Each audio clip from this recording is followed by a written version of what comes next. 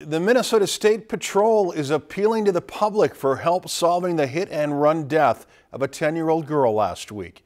Kaylin Donovan of Lake Park was struck and killed just before 8 p.m. Friday as she walked along Minnesota Highway 18 in the Mille Lacs Lake area. The patrol said Tuesday it's possible the driver did not know the girl was struck. A 10 year old girl, she's rather small, and so um, our training in crash reconstruction helps us helps lead us to believe what drivers may or may not have experienced in a crash.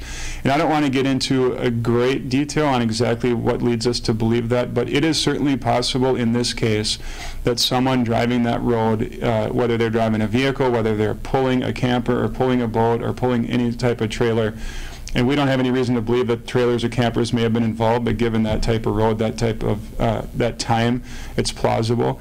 It's possible that the driver may not have known uh, what they were involved with or the gravity of the situation.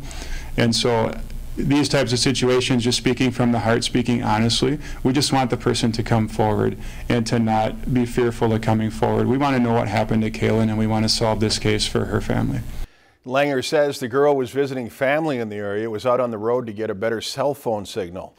Investigators are asking anyone who was in the area on June 10th between 7:30 p.m. and 8:30 p.m.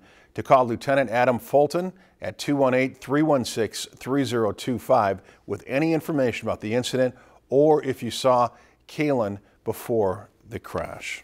If you've enjoyed this segment of Lakeland News, please consider making a tax-deductible contribution to Lakeland Public Television.